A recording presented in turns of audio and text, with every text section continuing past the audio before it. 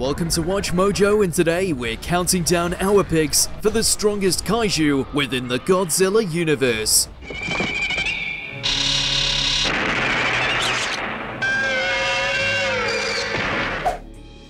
Number 10, Rodan. Godzilla wasn't the only giant kaiju to help establish the House of Toho back in the day.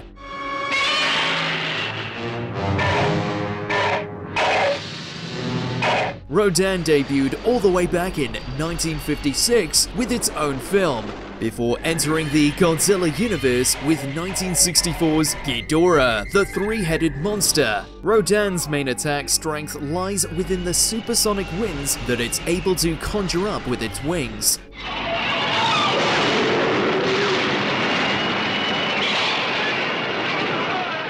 Elsewhere, its evolved Fire Rodan vision lends this irradiated Pteranodon one serious power upgrade. Rodan is agile too, and able to dart and fly around his opponents in order to keep them guessing.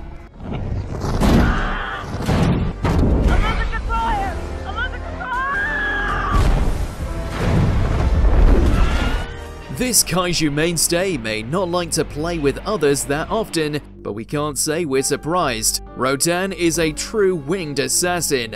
Number 9. Hedorah 1971's Godzilla vs. Hedorah tends to be a divisive film among Godzilla fans, thanks to its uneven tone and psychedelic visuals. Yet, its titular antagonist, Hedorah, just may be a slept-on kaiju when it comes to its sickening power.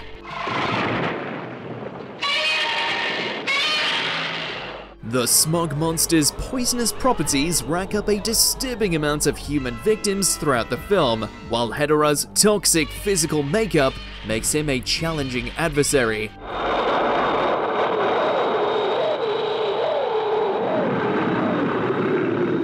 Godzilla finds it difficult to come up with a game plan since Hedorah spouts off corrosive, acidic, and toxic chunks that seem to debilitate the king of the monsters at every turn.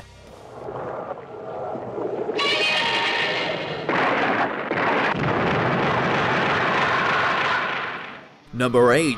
Mothra We all know that Mothra is the OG Queen Moth, dominating her Godzilla film appearances with wind attacks, powerful lightning, and silk threads that can easily incapacitate an opponent.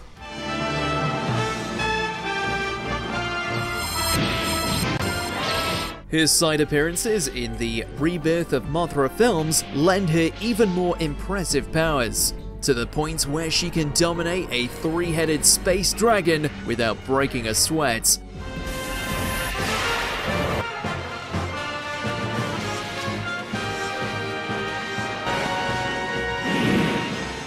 That said, Mothra's other strengths actually lie within her peace-loving nature, since it's her restraint that we find so charming and lovable. This is a kaiju that's truly heroic, only causing chaos if provoked or threatened.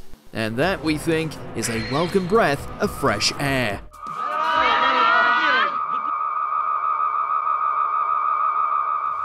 Number 7. Gigan Call the case of this next kaiju one of both style and substance. There's just no way around it. Gigan looks cool.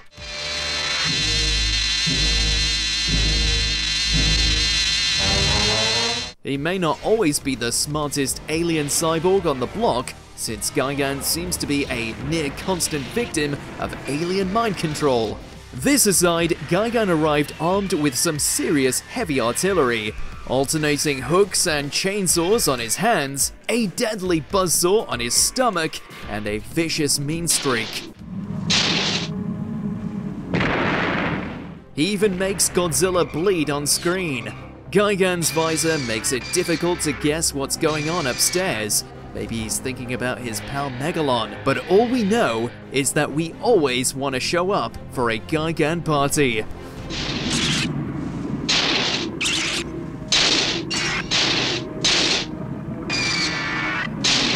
Number 6.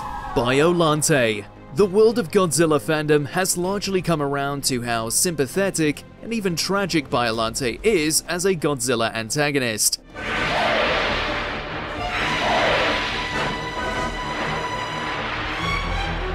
She's created in the aftermath of a bombing that takes the life of one Erika Shiragami when her father, Dr. Genshiro Shiragami, splices her DNA with Godzilla cells and a rose.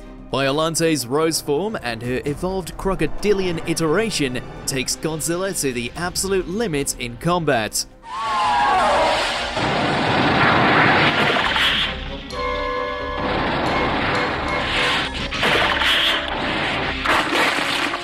She's able to quickly heal her wounds, while her acidic spit and poisonous corrosive properties are similar to that of the smog monster Hedorah.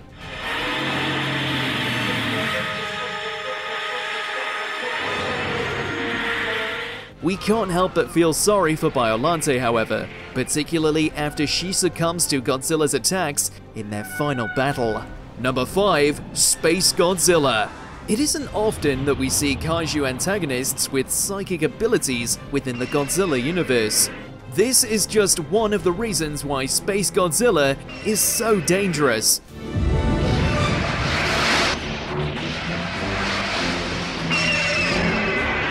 Let's forget for a moment the creature's rather uninspired moniker and instead focus on Space G's abilities of telekinesis, telepathy, and even levitation. Space Godzilla's energy shield can reflect back the OG Godzilla's atomic breath attack as well, giving this kaiju tons of defense properties against his opponents.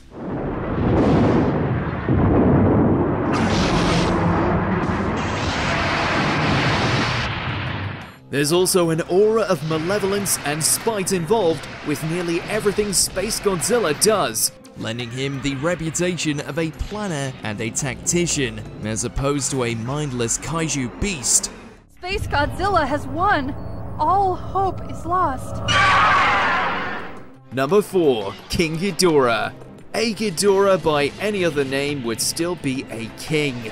This thousands years old dragon has reared his three heads in many Godzilla films over the years, including mecha versions and the Monster X upgrade Kaiser Ghidorah from Godzilla Final Wars.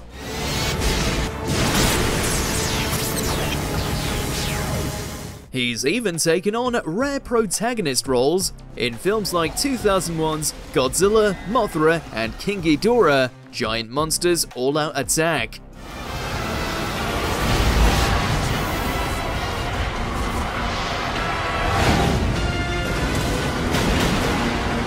King Ghidorah primarily loves to be bad, however, and utilizing his lightning strikes and energy shields for god-level attacks and defense capabilities. Said simply, it's always a fight when King Ghidorah shows up.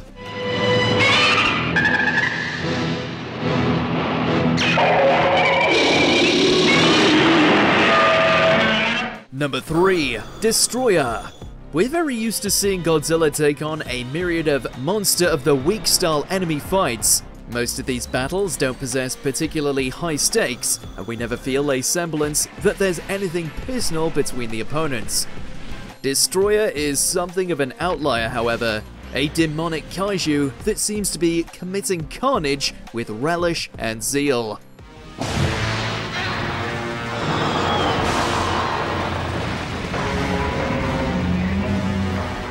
Godzilla actually perished at the finale of 1995's Godzilla vs. Destoroyah, an event that made international headlines at the time.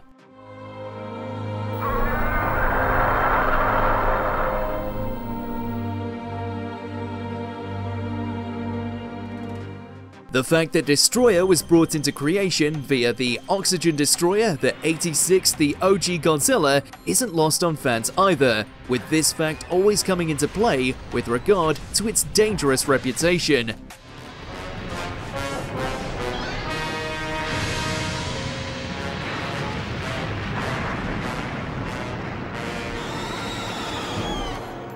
Number 2. Mechagodzilla it's a walking arsenal, a disaster waiting to happen with one fearsome moniker, Mecha Godzilla.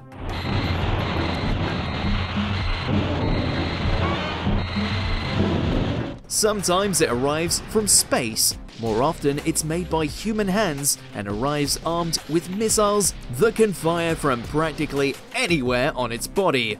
Mechagodzilla can fire energy beams from its eyes at 360 degrees thanks to its swiveling head.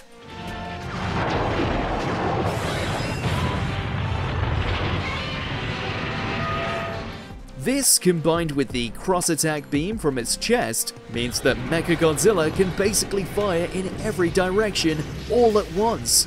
It's honestly an impressive sight when Mecha G goes all out in a fight, all energy fireworks and pulse blasts that can lay low basically anything in its path.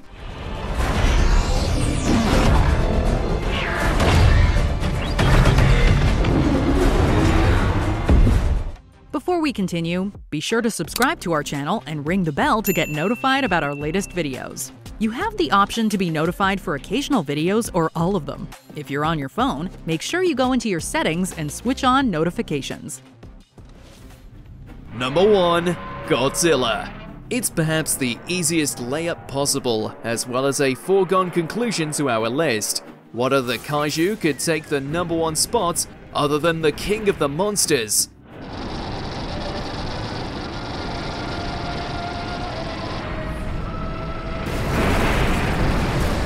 Godzilla's power levels and abilities have fluctuated over the years, with some iterations, such as Final Wars Godzilla, possessing little trouble taking down enemies.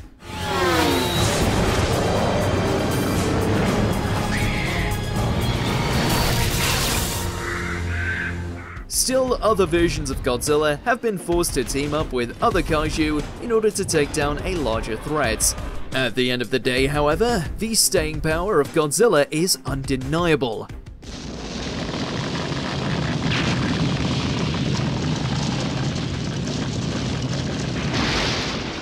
Take your pick movie appearances, comic book dominance, animated adaptations. Godzilla has done them all and remained unconquerable for decades, with no sign of stopping.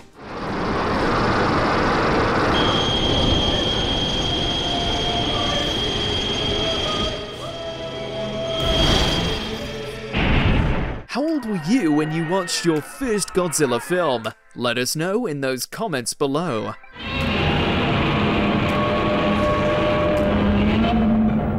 Did you enjoy this video? Check out these other clips from WatchMojo and be sure to subscribe and ring the bell to be notified about our latest videos.